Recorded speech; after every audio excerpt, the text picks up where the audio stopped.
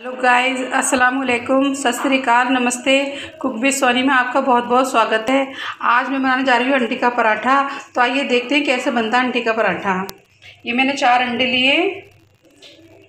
एक कटोरी मैंने बारीक प्याज लिए। एक कटोरी मैंने आटा लिया है।